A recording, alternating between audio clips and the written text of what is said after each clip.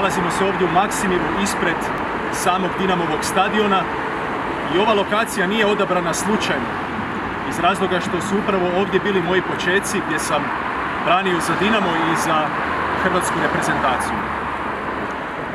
Za, za kampanju je odabran slogan broj 1 Zagreba i on nije odabran slučajno.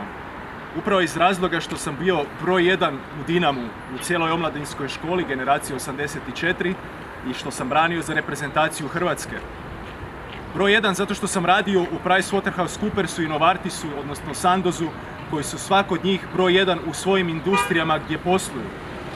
I broj 1 iz razloga što sam zajedno sa svojim timom ponudio određene rješenja koji su uistinu broj 1. Obnova grada Zagreba po uzoru na Beč. Jedini smo i prvi smo izašli sa konkretnim rješenjem.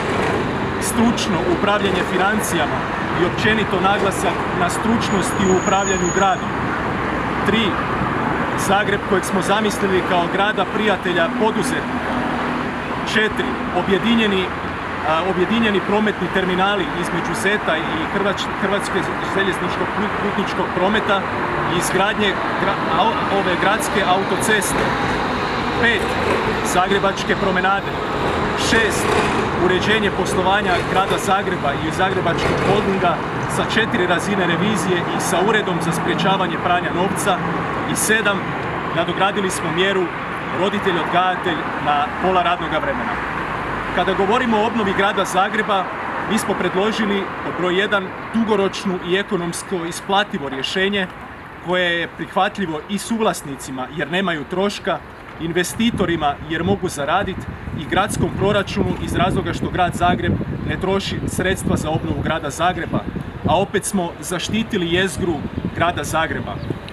Kada govorimo o upravljanjima financijama, napravit ćemo dubinsku analizu stanja grada Zagreba i Zagrebačkog holdinga i na uštedama koje mislimo ostvariti planiramo, planiramo financirati, odnosno sufinancirati izgradnju vrtića, izgradnju škola, izgradnju domova za umirovljenike, izgradnju zdravstvenih centara i prometnica koje smo obećali tijekom predkampanje i kampanje.